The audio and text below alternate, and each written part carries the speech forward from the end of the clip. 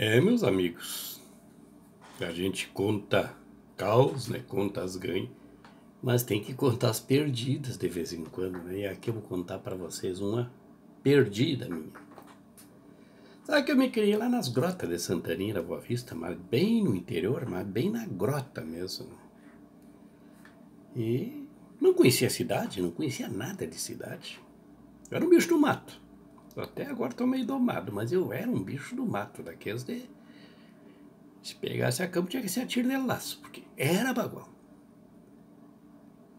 E certa feita, eu tive que ir a Caçapava do Sul para me alistar para o quartel, né?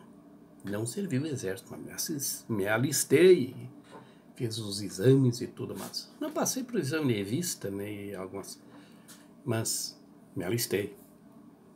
E eu cheguei na cidade e pensei comigo, eu nunca comi boy num restaurante, não conheço o restaurante. Tinha vendido uns terneiros lá, tá com pila no bolso, hoje eu vou almoçar num restaurante fino. Mas olha só a bobagem, né? Bagual que nem eu, querendo almoçar num restaurante fino. Entrei. Entrei tapete velho grande lá na porta, né? Bem-vindo escrito naquele tapete.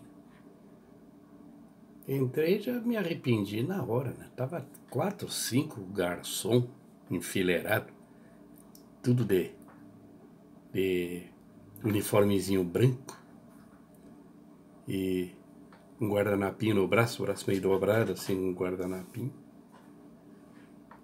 Eu digo, mas aonde eu vim me meter, né? Não vou nem saber que boia pedindo isso aqui, né?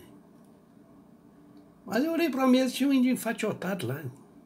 Terno, gravata, mas bem enfatiotado. Digo, esse deve saber das coisas, né? Eu me sentei numa mesa bem pertinho. Agora o que esse vivente pedir, eu peço. E não passo vergonha.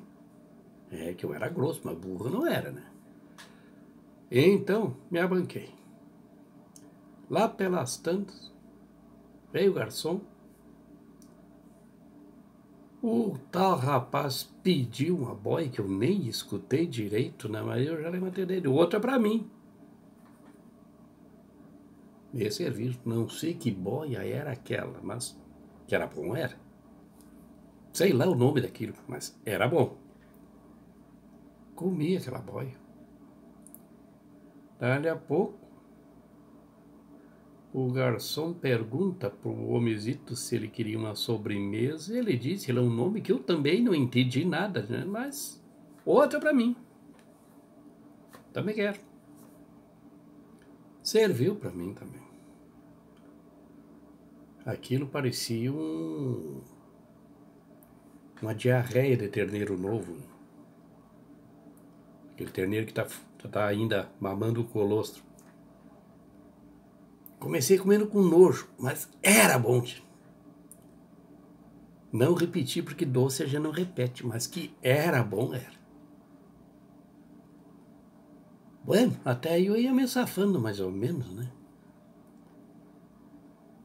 Aí voltou o garçom na mesa do mocito e disse: O senhor quer um engraxate? Sabia eu que era engraxate, né? Naquela minha ignorância triste, sabia eu o que, era engraxate, né? Digo, outro para mim, outro para mim. Aí o garçom chegou na mesa, mas meu senhor, não pode ser o mesmo para os dois? Atende um, depois o outro. Digo, não, não, não, não, não, não. Ele come o dele e eu como o meu.